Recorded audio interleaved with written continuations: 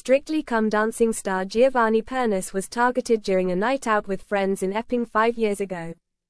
At the time, the Sicilian pro had been on the BBC show for several years and was well known for his record-breaking dance moves.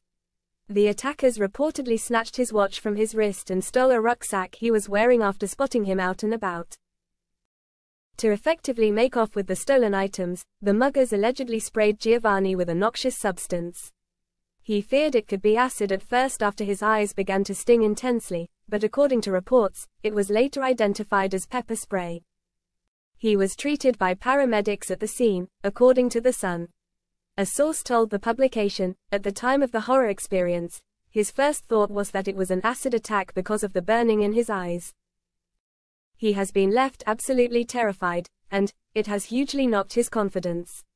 Fortunately, it didn't cause any long-lasting damage. Giovanni isn't the only BBC pro to have been attacked, with Gorka Marquez losing two teeth after thugs attacked him in Blackpool in 2016, and Pasha Kovalev having his mobile phone snatched by moped muggers in London. He soldiered on with his strictly routines, only leaving the show this year after allegations made by Sherlock actress Amanda Abbington led him to step down.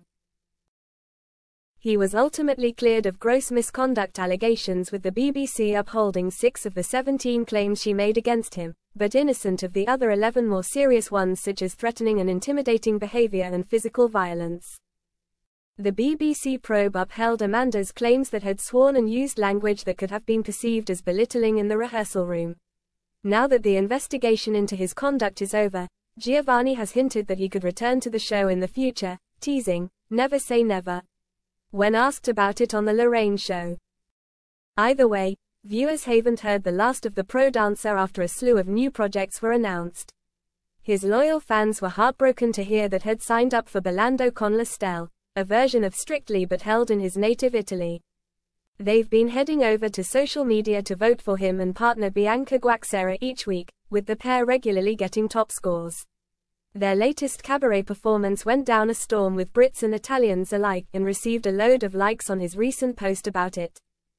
Meanwhile, Hell returned to the UK in 2025 to tour solo for his show, The Last Dance, between January and July, and will also be seen on screen in new Channel 4 show Celebrity Hunted next year.